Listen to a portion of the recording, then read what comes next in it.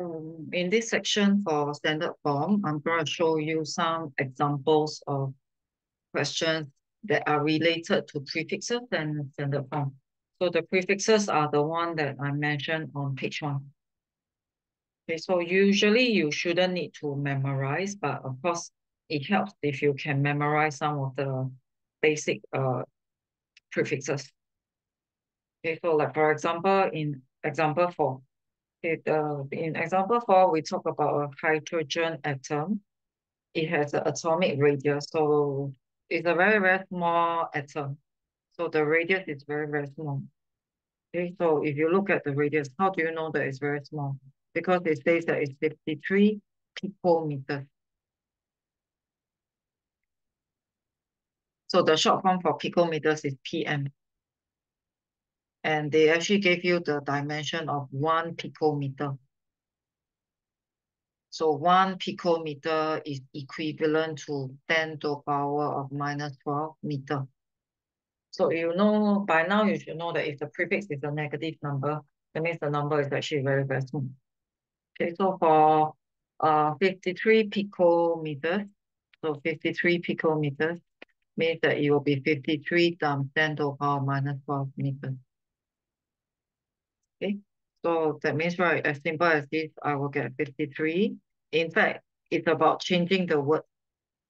So most of the time, right, uh, my, my, the way I think will be, I replace the word. So I replace the pico with the prefix of 10 to the power of minus 12. So I replace and I'm left with meters.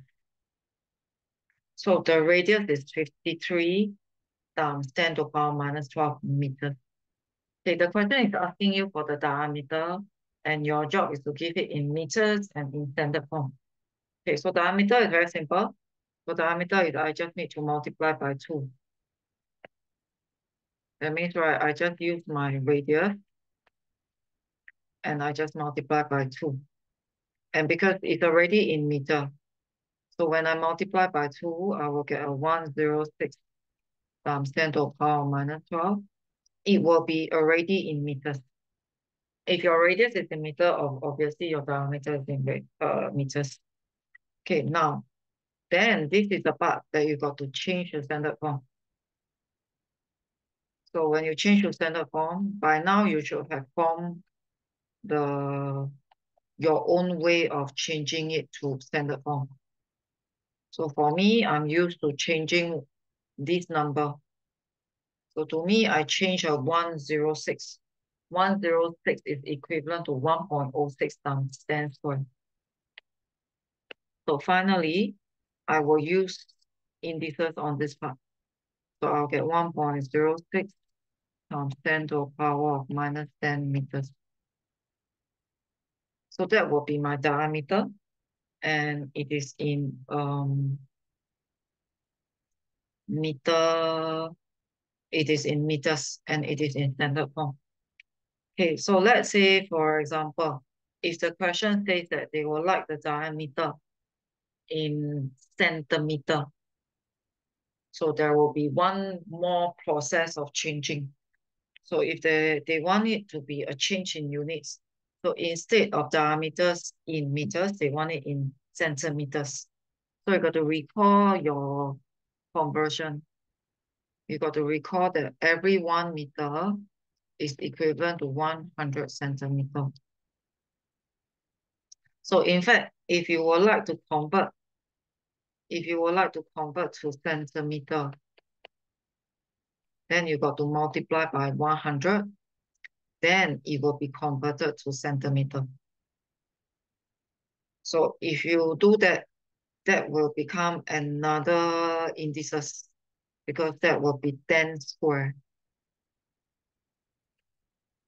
And it will be 1.06 times 10 to the power minus 8 centimeter. Okay, so be mindful of the units that they are asking you. Later on, there'll be a practice question where there will be some changing in units. Uh, sometimes I will also be showing you exam questions. Okay, so that is this is example for a very simple one. Mm, radius and diameter. Okay, so the next one right, is a very typical application. They like to talk about distance and they like to talk about speed and they like to talk about time. So in such a situation, this is the speed equal to distance time thing. So this is the speed equal to distance time thing. So you got to be very careful about the units. Otherwise, all these questions are very, very confusing to you. So the mean distance, mean distance is just like the average distance. So you don't care about the mean, you just take the distance. So if you look at the distance, the, the distance is in billion. So if you refer back to page one, the prefix from billion is 10 to power of 9. Am I right? Sometimes I also forgot. Uh, yeah, it's 10 to the power of 9. So I will change that prefix to 10 to the power of 9. So if I change this prefix, this uh the word billion to 10 to the power of 9, that means right, the distance is in kilometer. Okay, the distance is in kilometer. And then we are given the, the, the speed of the light. The speed of the light is this amount of meters in per second. So in a way, the speed is 300. Change out the word million to 10 to power 6 meters per second. So the speed is in meters. And whereas the actual distance given is in kilometer. So eventually I'm supposed to find the time in seconds. So I'm supposed to find the time in seconds for the light to travel. So the formula for time will be distance over speed.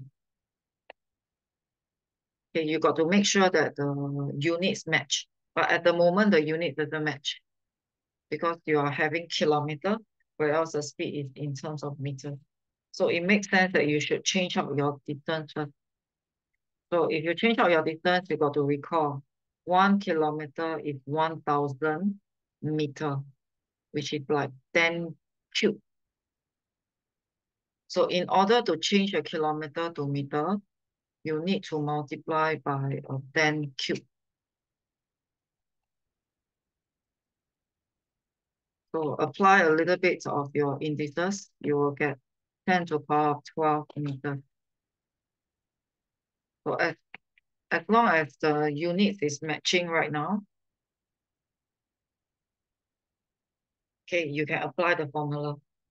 So I'm going to apply my formula. So what is the time taken? I will take the distance that is in meters and I'm going to divide by the speed that is in meter per second.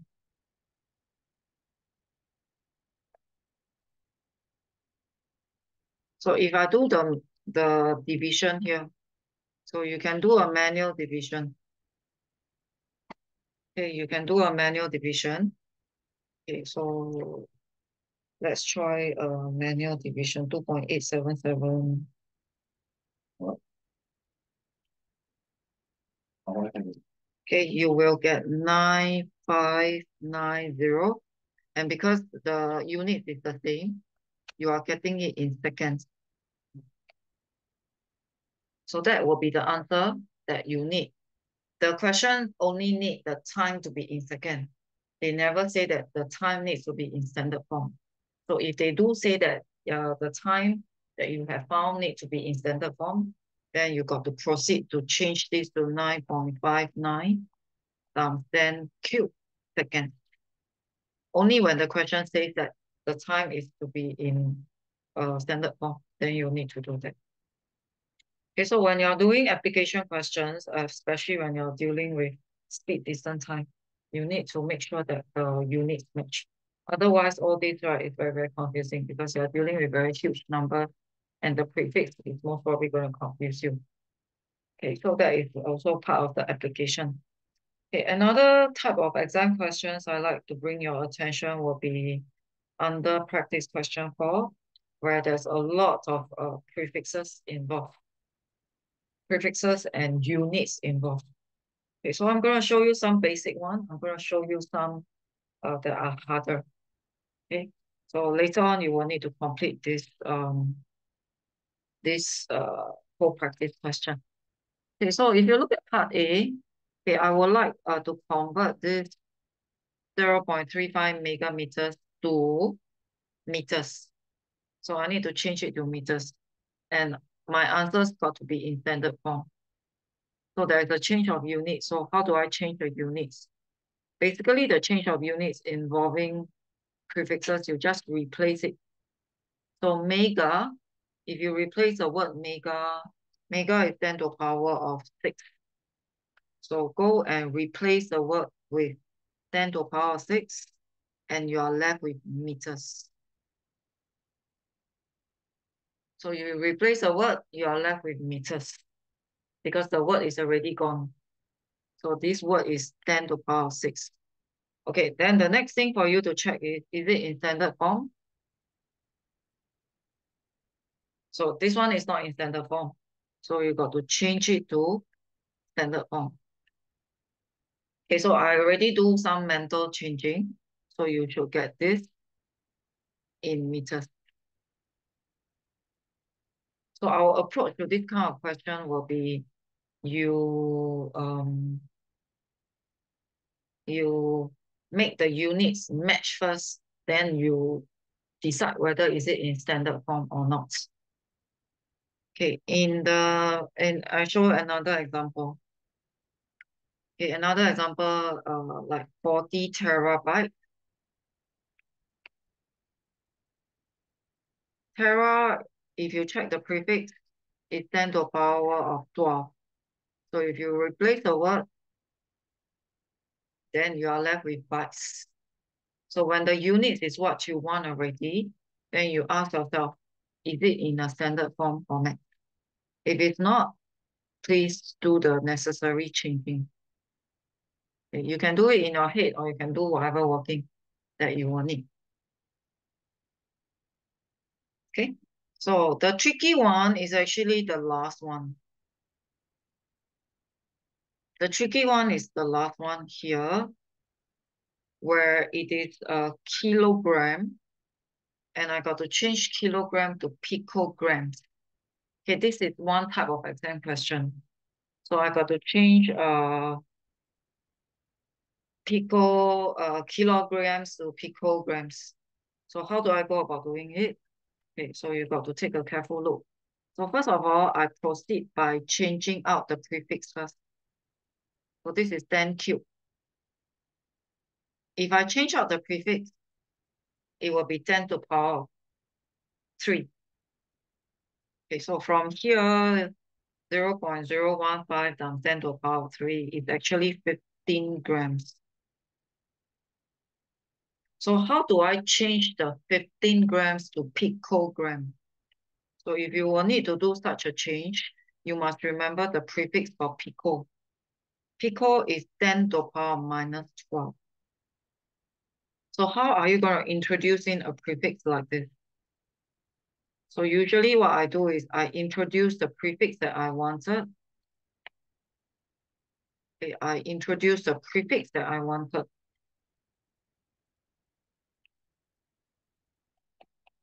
And I divide the prefix that I introduce in.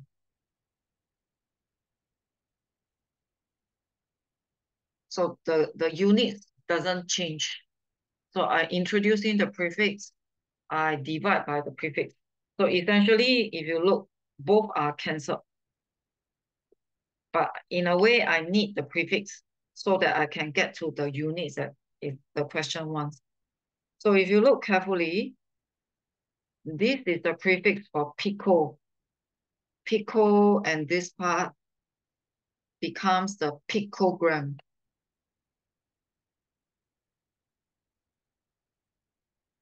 And where else this part? You punch calculator. Okay. You punch calculator, or if you don't punch calculator, right, it's 15 divide by 10 to the power minus 12. So 15 divided by 10 to the power minus 12, you will get 15 times 10 to the power of 12. 15 times 10 to the power of 12. Okay, let me write properly. So this part, you will get 15 times 10 to the power of 12. So eventually you got to the pico picogram. So make sure this one is in standard form.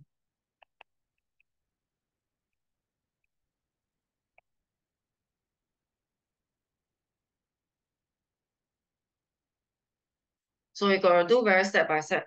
So you realize I uh, get rid of the first prefix. I get rid of the first prefix. And then I introduce in the prefix that I wanted. As you introduce in, you got to balance it out by a divide. So in a way, you are free to introduce a lot of things. You are free to introduce any uh, prefix that you want, as long as you remember to balance it off. Okay, so I'm going to show you another example. Okay, I'm going to show you another example. So let me change out this question. So maybe I change it. Okay, instead of um, meters, right, I wanted it to be nanometers. So 23.6 micrometers. Okay, I would like to change it to nanometers. So like I mentioned, what is your first step? The first step is you replace the first prefix. So the first prefix is 10 to the power of minus 6. So after the first prefix is replaced, you are left with meters.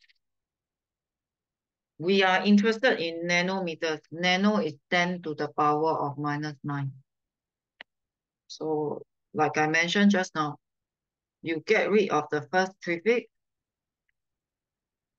You introduce uh, one that you like, but you balance it off.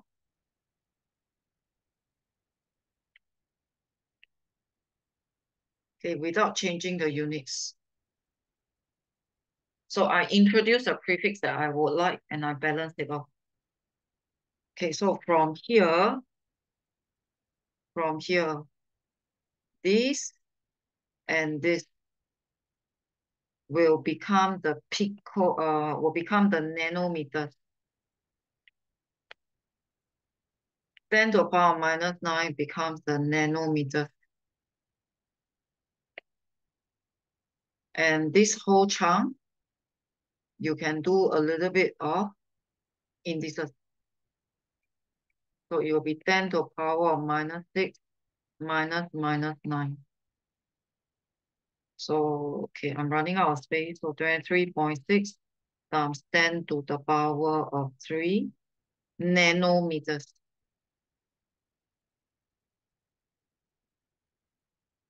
After you get the units that you want, you got to do, do a double check. If this is not in standard form, please change it to standard form.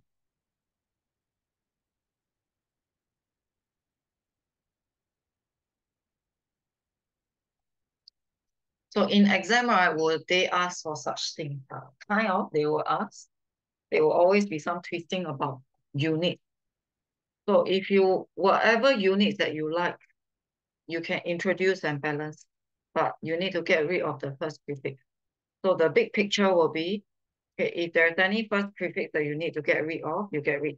If there's no prefix that you need to get rid of, right, you introduce the one that you want. Okay, so like another,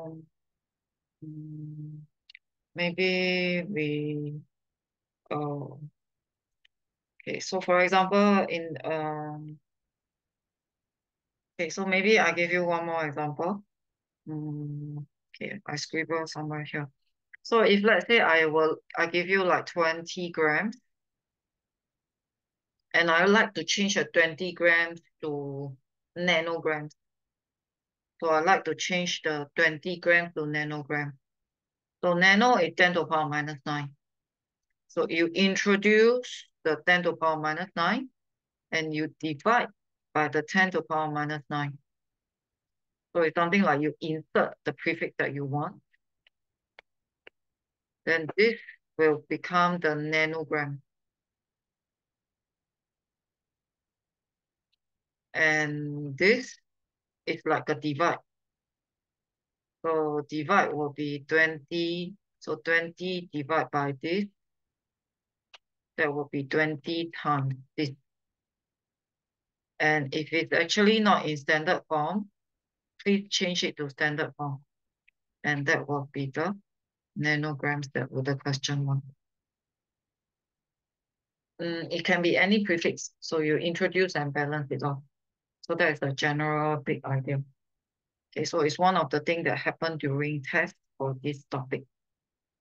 So look through the application. This one is a bit more confusing. If you're not clear, if you're not step by step, you'll find all these questions very, very confusing.